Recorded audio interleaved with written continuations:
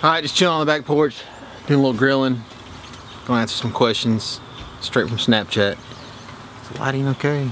Yeah, it looks alright.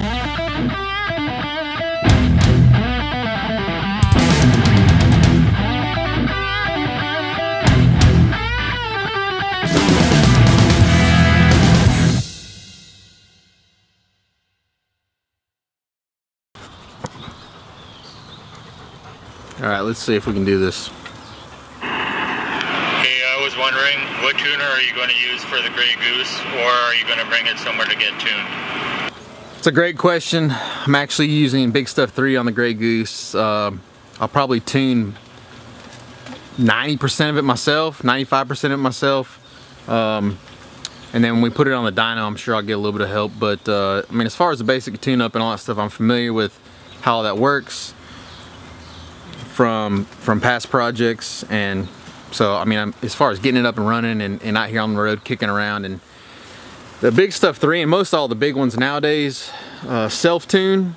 So off a wideband oxygen sensor you basically just put in there what you want the air fuel ratio to be at certain parameters and then it'll self-tune to get it there. So they're not that that difficult.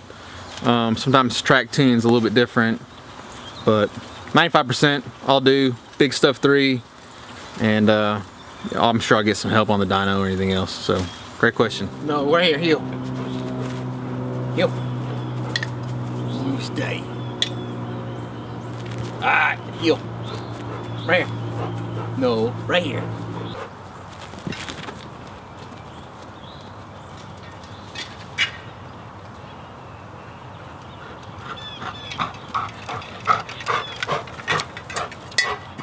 all right question number two What is some advice that you would have liked to know before you started the Grey Goose and that you would pass on to people with their future builds? Okay, that's a great question.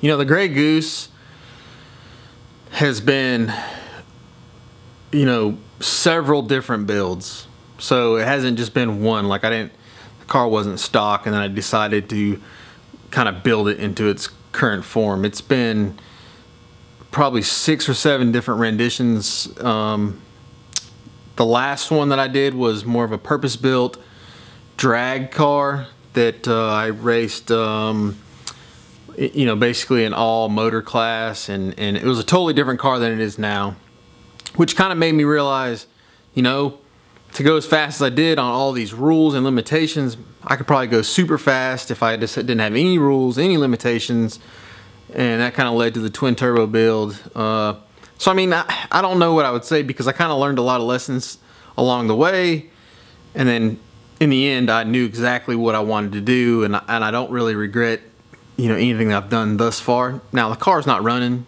so once I once the car's running, I'm out driving it.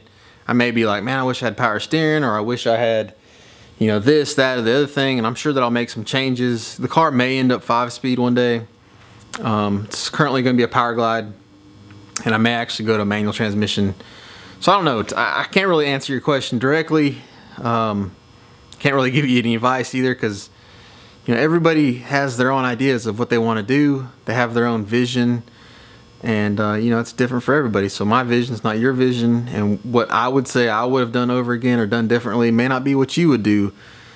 You know, over again or differently. So it's kind of a crappy answer, I understand, but not really anything at this point. Guess we'll see.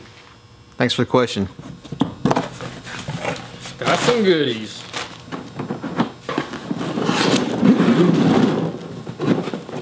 Got dash 10.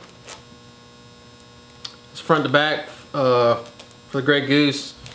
Tank to tank to I guess uh, let's see here. Y connector. It's gonna split into two dash eights, which is right there. Split into two dash eights, going up to the fuel rails.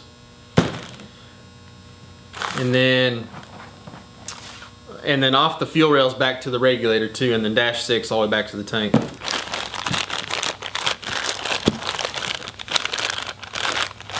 Think I got all my fittings I'm gonna need. So I don't know, we'll see that build. I mean this uh This uh, video should be coming soon. Maybe might work on it this weekend. That's it for this Q&A. I actually had one other question that came in first, and I watched it, and about about halfway through watching I realized I'm not going to be able to show this thing again, and I didn't really catch what the question was, and so anyway, if that was you that sent that in, I'm sorry, didn't make it. Uh, trying to figure this thing out. This whole Q&A thing is is new, and gonna have to figure out how to do this. So anyway, thanks for your questions. Recap, uh, Big Stuff 3 on the Grey Goose, fully programmable, it runs everything. It'll do the fans, it'll do the fuel pumps, it'll do data logging.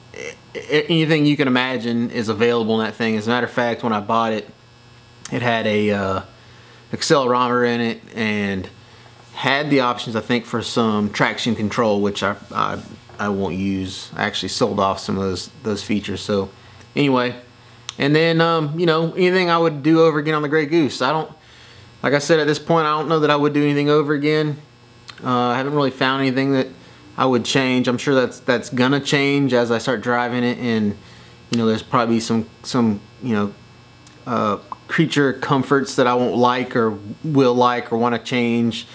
Uh, may go away from the two-speed power glide and go to a six-speed just so I can probably run a little bit lower gear in it and, and get down the highway. So anyway, thanks for your questions. We'll try this again next week.